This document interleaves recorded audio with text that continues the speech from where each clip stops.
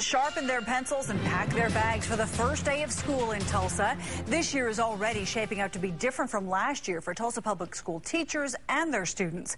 2 News reporter Sarah Goldenberg trailed along as the superintendent visited several schools today. Sarah? Karen, we noticed many of the classes are packed with students. It's just one of challenges that teachers face this school year. It really is exciting on the first day of school. You you can see that just in the teachers and the kids when you go in the classrooms, and it's really what it's about. Show me how it's done.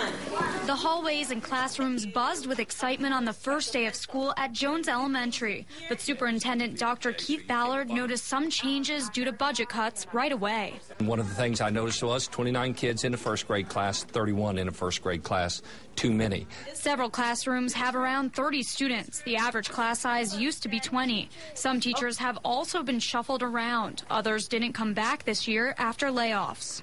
We're wrestling with that. We're down 225. It will impact class size, um, but, but I think that we're dealing with it pretty well. He put me down outside the door.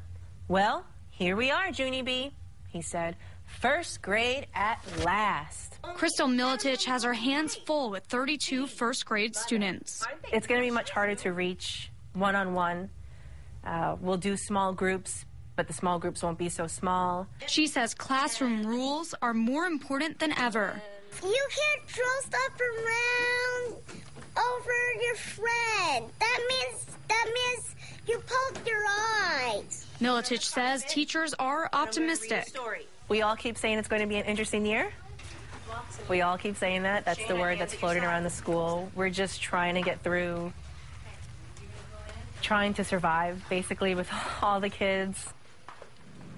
Now, Tulsa Public Schools should get about $7 million in stimulus funds soon. That money could be used to hire some more teachers back and to cut down on class sizes. Live in Midtown Tulsa, Sarah Goldenberg, 2 News, works for you.